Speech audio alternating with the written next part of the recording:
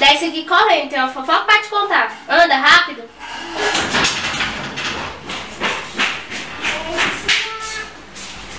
Maria, você me chamou aqui pra quê? Mulher, entra aí, eu tenho uma fofoca, anda. Mulher, você sabe aquela vizinha, aquela fofoqueira?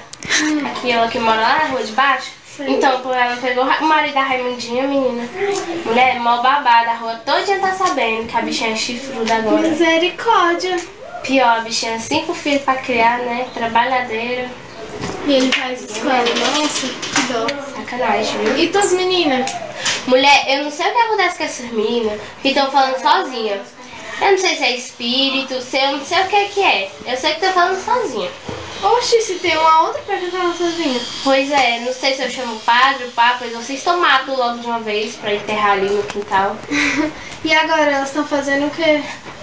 Estão mexendo na minha maquiagem. Ei, menina!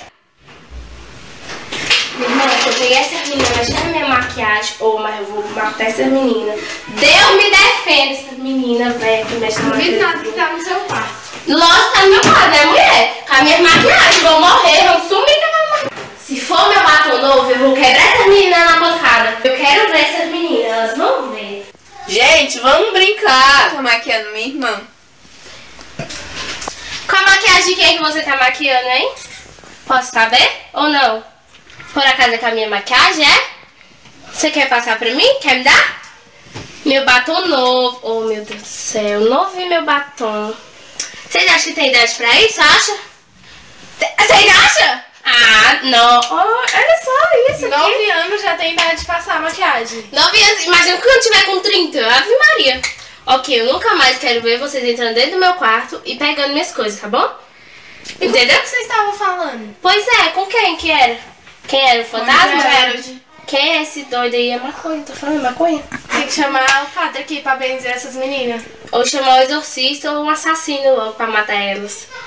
Olha aqui, eu não quero mais vocês você se maquiando, nem falando sozinha, tá bom? Não vai apanhar, ok? Entendi?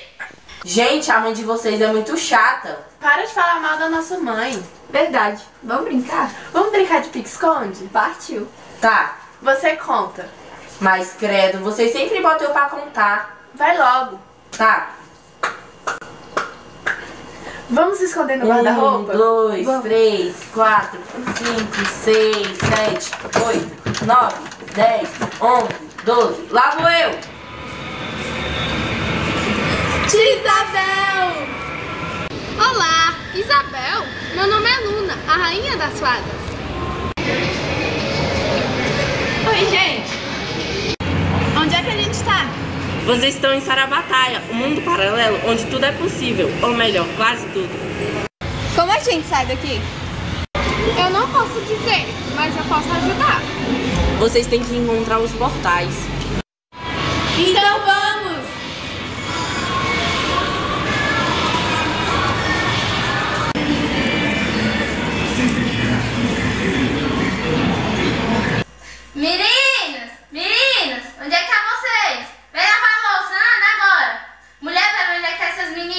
Deve estar dentro do guarda-roupa.